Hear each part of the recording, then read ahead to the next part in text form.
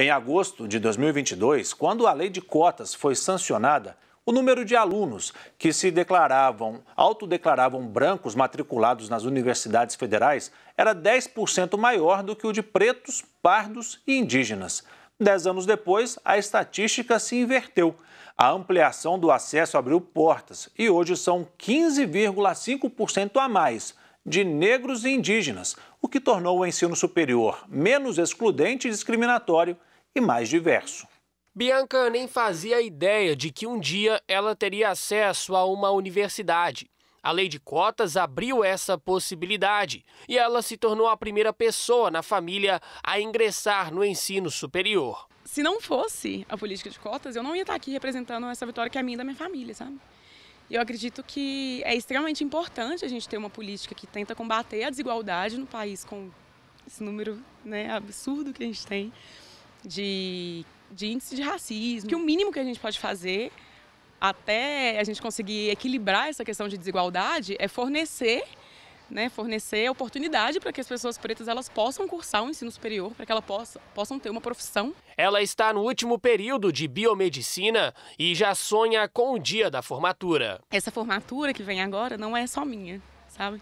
Tem aí meus pais, tem meus avós e meus bisavós e todo mundo que veio antes e que não pôde passar na porta da FMG sabe? Então isso é bem, bem marcante. Assim. Em 2012, um em cada cinco alunos matriculados nas universidades federais do Brasil era preto, pardo ou indígena.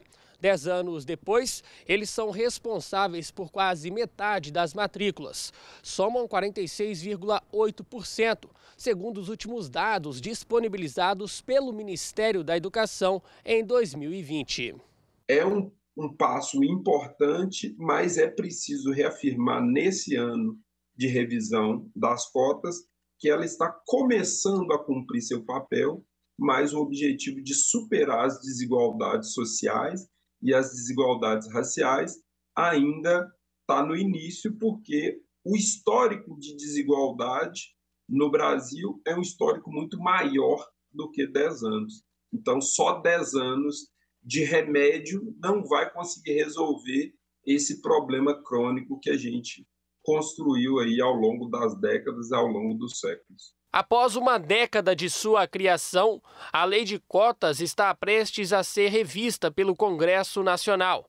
Para este professor, há muita margem para a evolução. Então, é importante que essa parcela da população negra, que por muito tempo foi privada da escolaridade longa, né?